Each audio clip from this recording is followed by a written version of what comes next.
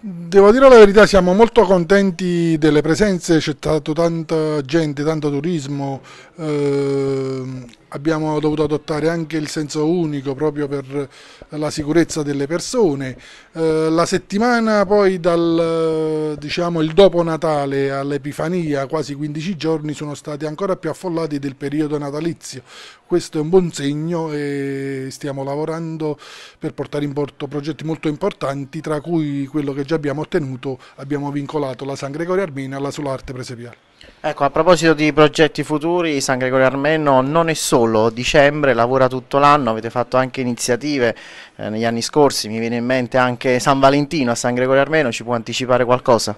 Sì, eh, San Gregorio Armeno vuole essere un volano culturale eh, partendo proprio dalla tradizione settecentesca napoletana e stiamo organizzando tanti eventi culturali anche nelle festività, eh, penso per esempio a San Gaetano che è uno dei primi a a, diciamo, a interpretare il presepe napoletano, eh, poi facciamo San Gennaro che è il nostro santo protettore, eh, poi c'è quest'anno un'iniziativa del primo anno di, proprio di San Gregorio che non abbiamo mai eh, fatto, però la vorremmo fare proprio per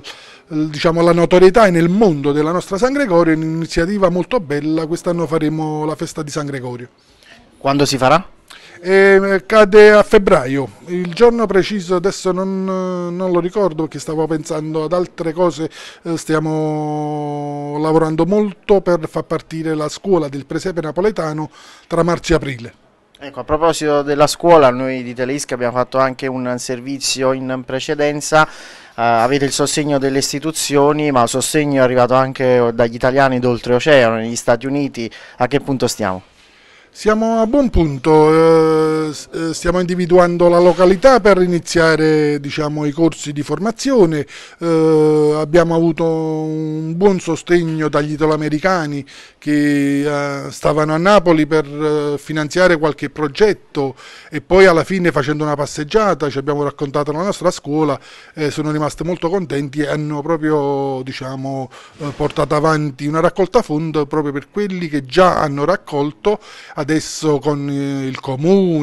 ma anche la Chiesa che ci sta dando una mano sia per i siti, anche come parte proprio integrante del progetto. E stiamo valutando sia delle chiese che eh, l'albergo dei poveri e qualche cosa addirittura la Fondazione Banco di Napoli come appartamento ci vuole dare in dotazione.